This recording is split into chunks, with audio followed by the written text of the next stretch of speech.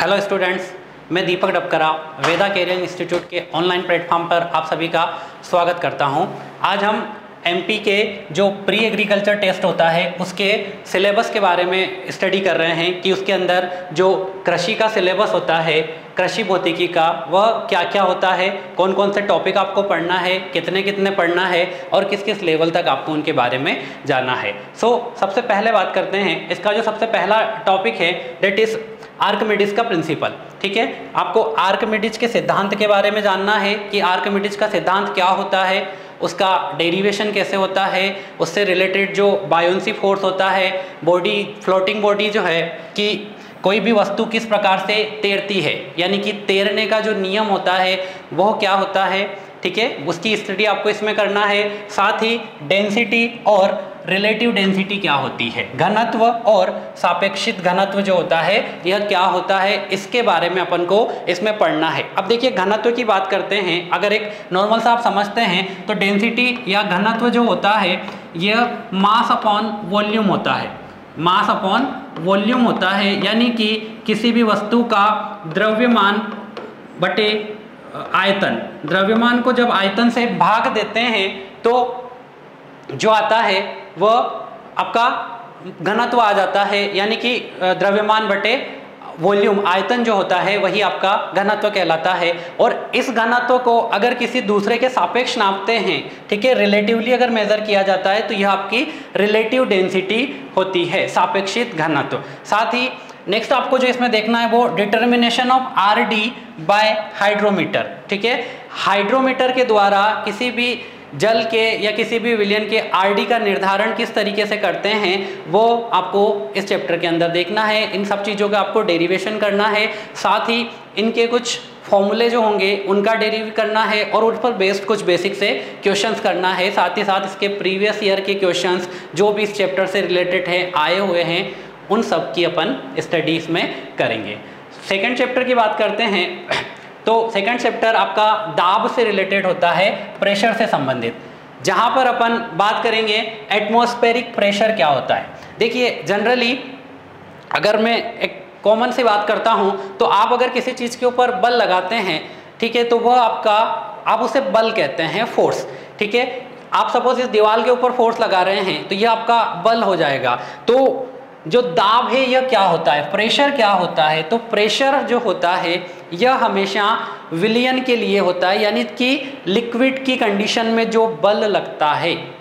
ठीक है? जो भी बल आप द्रव के लिए लगाते हैं, द्रव में जो बल लगाया जाता है, ठीक है, वह प्रेशर होता है। प्रेशर कभी भी ठोस में नहीं लगता।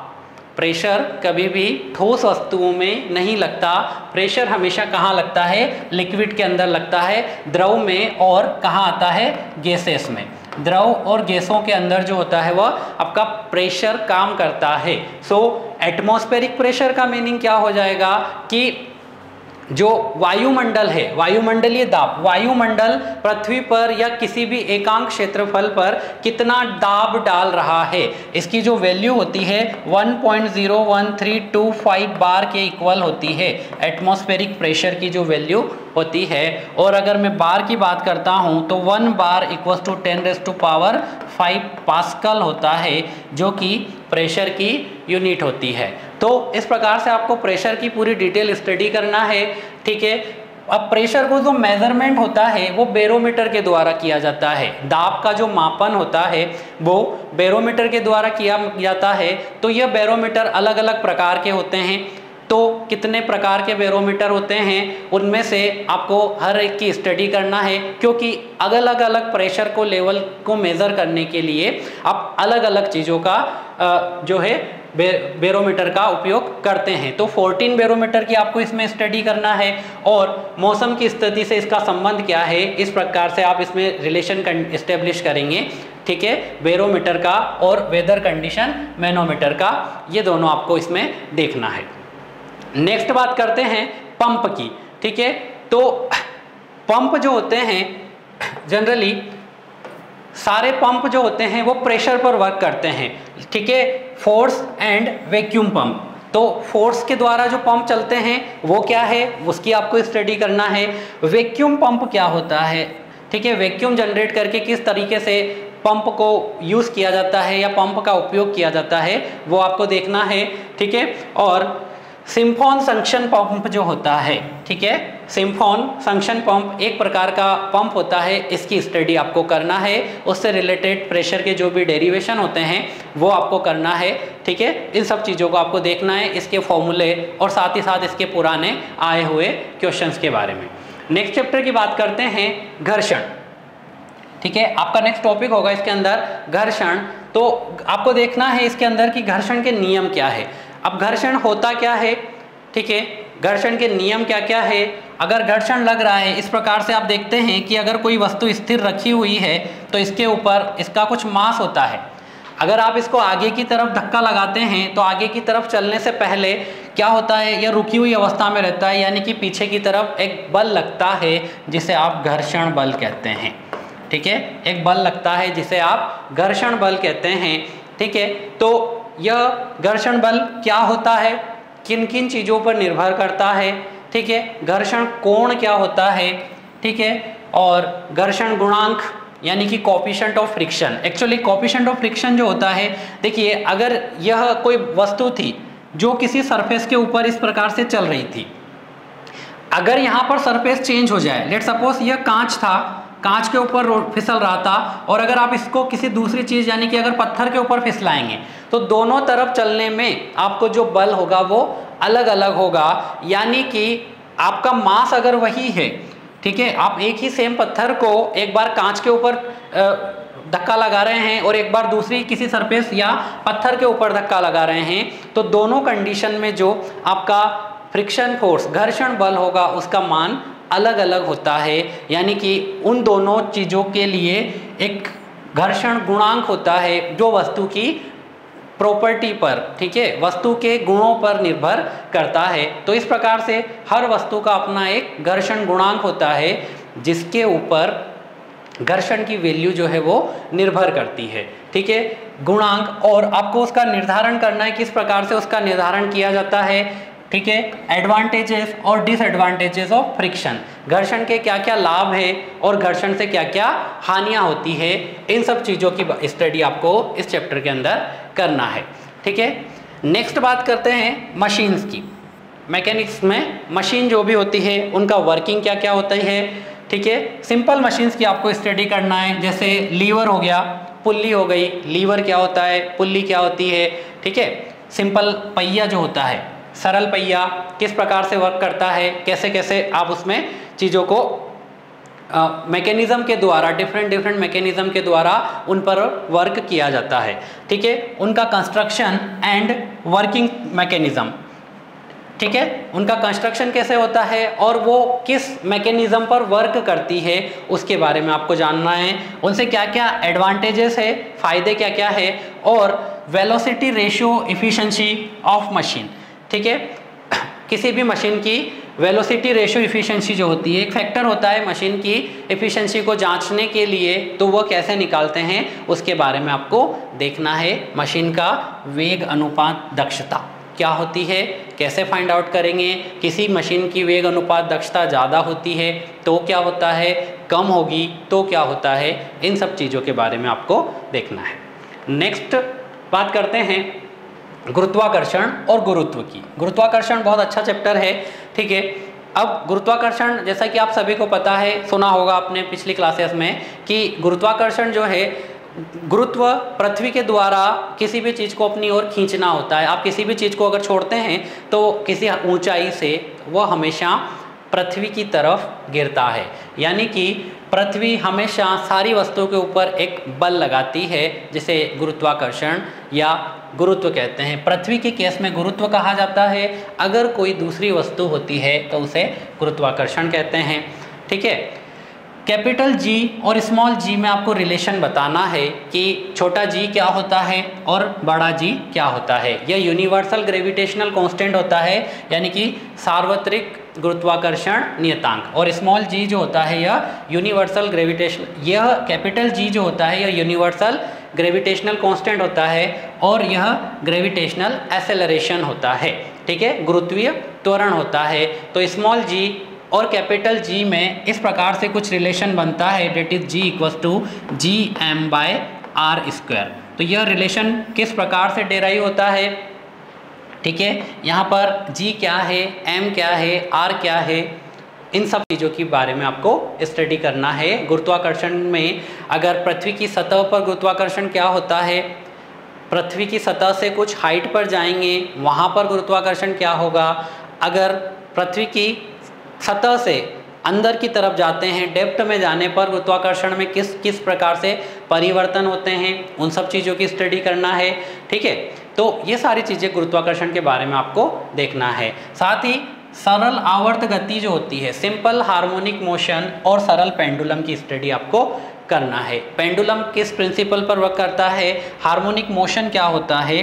ठीक है? रोटेशन, इस प्रकार से जो एक मोशन होता है, जो एक फिक्स समय के बाद अपने मोशन को रिपीट कर लेता है और एक पेंडुलम का जो मोशन होता है, इस प्रकार से। ठीक है? तो पेंडुलम के अंदर इसका टाइम पीरियड क्या होता है? आवर्त गति क्या होती है? आवृत्ति किसे कहते हैं? ठीक है? यह किन किन चीज़ों पर डिपेंड करता है? इसका जो आवर्त काल होता है वह किन किन चीज़ों पर निर्भर करता है, इन सब चीज़ों के बारे में आपको इस चैप्टर के अंदर देखना है। ठीक है? नेक्स्ट बात करते हैं हीट की, उष्मा की। ठीक है? बहुत अच्छा चैप्टर है हीट इसमें आपको देखना है अलग अलग प्रकार की हीट जो होती है स्पेसिफिक हीट क्या होती है थर्मल कैपेसिटी क्या होती है, ठीक है? यानी कि किसी भी वस्तु के अंदर जो हीट को एब्जॉर्ब करने की कैपेसिटी होती है, क्षमता होती है, तापी क्षमता जिसे कहते हैं, वो कितनी होती है? ठीक है? और नेक्स्ट है वाटर इक्वेलेंट ऑफ़ हीट ठीक है? कि हीट के इक्वेलेंट कितना वाटर है, कितने वाटर में से उष्मा जो निकलती है, वो कितनी हीट के इक्वल होती है, इन सारी चीज़ों के बारे में आपको देखना है। नेक्स्ट है determination of specific heat of solid and liquid ठीक है? ठोस और द्रव की विशिष्ट उष्मा का निर्धारण किन किन चीज़ों के बारे में किया जाता है? कैसे कैसे किया जाता है, उन सब चीज़ों को आपको देखना है। लेटेंट हीट यानी कि गुप्त उष्मा क्या होती है? ठीक है? गुप्त उष्मा के बारे में पढ़ना है और determination of latent heat and ice and steam आपको जो गुप्त उष्मा है किसकी? आइस यानी कि बर्फ़ की और स्टीम यानी कि भाप की। इनकी गुप्त उष्माओं के बारे में देखना है कि यह कितनी होती है और इनको किस प्रकार से डेराइव किया जाता है, इसकी मात्रा कितनी होती है। ठीक है कि एक ग्राम बर्फ़ को, एक ग्राम पानी में कन्वर्ट करने के लिए कितनी उष्मा की आवश्यकता पड़ेगी, वही आपकी गुप्त उष्मा कहलाती है। यानी कि ऐसी उष्मा जो अवस्था परिवर्तन करती है। ठीक है? तो वह कितनी होती है और उसे कैसे कैसे मेज़र किया जाता है, किस प्रकार से उसको डेराइव करते हैं, ये आपको देखना है। नेक्स्ट बात करते हैं कि अब उष्मा के बारे में देखा कि उष्मा होती क्या है तो नेक्स्ट देखना है कि उष्मा का संचरण कैसे होता है। ठीक है, उष्मा एक जगह से दूसरी जगह तक कैसे जाती है? तो उष्मा के संचरण की तीन विधियाँ होती है। एक होता है चालन, दूसरा होता है संवहन और तीसरा होता है विकिरण। तो इन तीनों के बारे में आपको देखना है कि कंडक्शन कन्वेक्शन और रेडिएशन के थ्रू उष्मा का संचरण किस प्रकार से होता है, उसकी क्या क्या प्रॉपर्टीज़ होती है, किस संचरण के माध्यम में, माध्यम की ज़रूरत होती है किसमें माध्यम की ज़रूरत नहीं होती है। तो यह सारी चीज़ें आपको देखना है। साथ ही अच्छा और बुरा चालक यानी गुड और बैड कंडक्टर क्या होता है? कौन उष्मा का अच्छा चालक है, कौन उष्मा का बुरा चालक है? और न्यूटन का शीतलन नियम, ठीक है? न्यूटन्स लॉ ऑफ़ कूलिंग जो होता है, वह क्या होता है? इसको आपको इसके अंदर देखना है। नेक्स्ट लाइट से रिलेटेड चैप्टर है, जहाँ आपको पूरी लाइट्स के बारे में स्टडी करना है, यानी कि लाइट क्या होती है? लाइट के कौन कौन से नियम होते हैं? परावर्तन क्या होता है? अपवर्तन क्या होता है?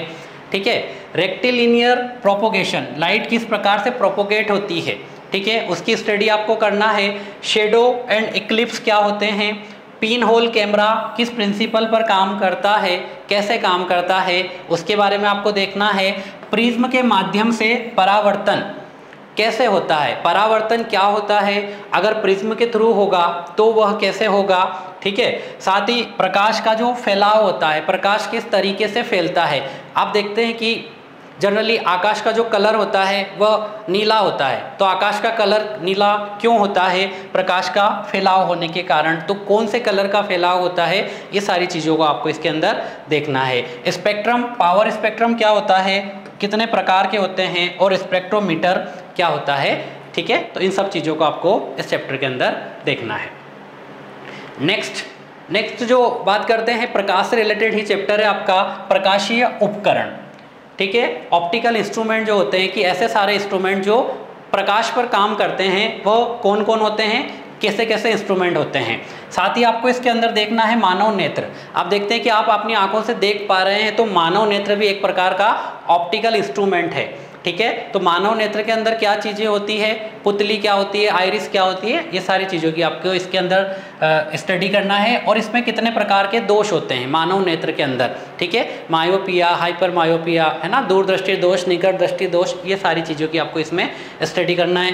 साथ ही फोटोग्राफिक कैमरा सरल और यौगिक माइक्रोस्कोपिक टेलीस्कोप, यानी कि फोटोग्राफिक कैमरा क्या होता है? और सरल और जो कंपाउंड माइक्रोस्कोप और टेलीस्कोप होते हैं, उसके अंदर उनका जो डेरिवेशन होता है कि किस प्रकार से दूर की चीज़ों को और पास की चीज़ों को सरल माइक्रोस्कोप से और जो कंपाउंड माइक्रोस्कोप होता है, उसके द्वारा आप देखते हैं या चीज़ों को देखा जाता है। उसकी स्टडी आपको इसके अंदर करना है। नेक्स्ट बात करते हैं मैग्नेटिस की, मैग्नेटिज्म, यानी कि चुंबकत्व। ये भी बहुत अच्छा चैप्टर है, ठीक है? सबसे पहले इसमें आपको देखना है कि चुंबक क्या होता है, ठीक है? चुंबकीय क्षेत्र क्या होता है? जहाँ तक चुंबक का प्रभाव होता है वह आपका चुंबकीय क्षेत्र कहलाता है। तो चुंबकीय क्षेत्र क्या होता है?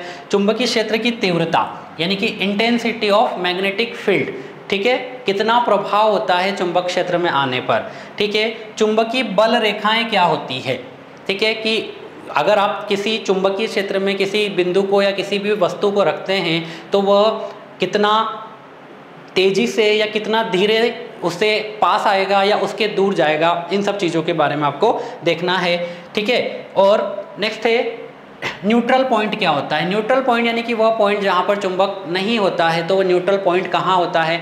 Couple acting on a magnetic placed in a uniform magnetic field कि अगर मैग्नेटिक फ़ील्ड के अंदर कोई पॉइंट रखा हुआ है चार्ज पार्टिकल रखा हुआ है, या कोई पदार्थ रखा हुआ है तो उस पर किस प्रकार से दो अलग अलग फोर्स यानी कि कपल एक्ट होता है, उसकी आपको स्टडी करना है।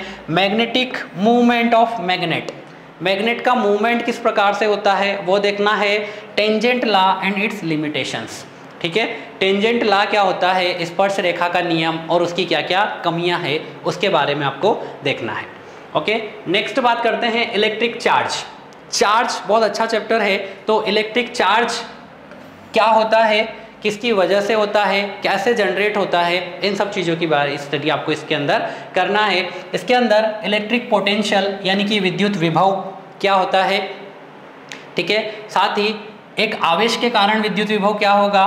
ठीक है? विद्युत क्षेत्र क्या होता है? उसकी इंटेंसिटी क्या होती है? और एक चालक तार के अंदर विद्युत विभव क्या होता है, कैसे उसको मेज़र करते हैं, ठीक है? ये सारी चीज़ें आपको देखना है इलेक्ट्रिक चार्ज के अंदर। नेक्स्ट है इलेक्ट्रिक कैपेसिटी क्षमता, ठीक है? विद्युत क्षमता क्या होती है? उसकी यूनिट क्या होती है? विद्युत क्षमता एंड इसकी यूनिट क्या होती है? ये आपको देखना है और its value for a spherical conductor एक गोलाकार चालक के लिए इसका मान क्या होगा? इसकी स्टडी आपको करना है किसकी इलेक्ट्रिक क्षमता की, विद्युत क्षमता का मान एक गोलाकार चालक के लिए कितना होगा? वह आपको देखना है, ठीक है? गोलाकार और समांतर प्लेट कंडेंसर क्या होते हैं? और एक कंडेंसर की क्षमता का सिद्धांत जो है, इसके बारे में भी आपको स्टडीज़ के अंदर करना है कि कंडेंसर का प्रिंसिपल क्या होता है, ठीक है? कंडेंसर कैपेसिटर का प्रिंसिपल क्या है और स्पेरिकल और पैरेलल प्लेट कंडेंसर के बारे में आपको जानना है। ठीक है? नेक्स्ट करंट से ही रिलेटेड एक और चैप्टर है आपके पास ओम्स लॉ ठीक है? ओम का नियम जो होता है, वह क्या है? उसकी स्टडी करना है। ओम के नियम से आपको पता हो तो आप रेजिस्टेंस को डेराइव करते हैं। तो रेजिस्टेंस की स्टडी करना है। रेजिस्टेंस यानी कि प्रतिरोध क्या होता है? प्रतिरोधों को श्रेणी में और सीरीज़ में और पैरेलल में किस प्रकार से जोड़ा जाता है, उसका जो रिजल्टेंट बनता है, परिणामी क्या होता है, वो आपको देखना है। इलेक्ट्रोमोटिव बल। इलेक्ट्रोमोटिव फोर्स क्या होता है और विभवांतर, यानी कि पोटेंशियल डिफरेंस क्या होता है, किस प्रकार से बनता है, यह आपको देखना है। पोटेंशियोमीटर द्वारा दो कोशिकाओं की ईएमएफ की तुलना करना। पोटेंशियोमीटर जो पोटेंशियल मेजर करता है दो चीज़ों के बीच में, उनका ईएमएफ यानी कि इलेक्ट्रोमोटिव फोर्स किसका, दो कोशिकाओं का किस प्रकार से आप मेजर करेंगे पोटेंशियोमीटर के द्वारा, यह आपको देखना है। ओके नेक्स्ट है हीटिंग हीट इफ़ेक्ट करंट का हीटिंग इफ़ेक्ट यानी कि करंट के द्वारा ताप का क्या प्रभाव होता है? किसी वायर के अंदर आप करंट फ्लो करते हैं तो क्या वह गर्म होता है? उससे इसका हीटिंग इफ़ेक्ट कहते हैं कि करंट के फ्लो होने से हीट का बनना. That is heating effect of current ठीक है? और जूल के कैलोरीमीटर प्रिंसिपल द्वारा जे नियम का निर्धारण जूल का जो जे नियम होता है उसका आपको निर्धारण करना है। और घर के में जो भी तार जुड़े हुए होते हैं लाइक इलेक्ट्रिक आयरन हो गया इलेक्ट्रिक पावर हो गया और ऊर्जा का जो भी चीज़ें आपके घरों में जुड़ी हुई होती है तो वो कौन से क्रम में जुड़ी हुई होती है घर के अंदर जो भी तारों के जोड़ होते हैं वो कैसे कैसे होते हैं उन सब की स्टडी इसमें आपको करना है। सो so, ये आज का अपना पूरा सिलेबस का डिस्कशन था। कल से अपन फिजिक्स का बेसिक फिजिक्स स्टार्ट करेंगे, जहाँ पे आप यूनिट्स के बारे में जानेंगे। तब तक थैंक यू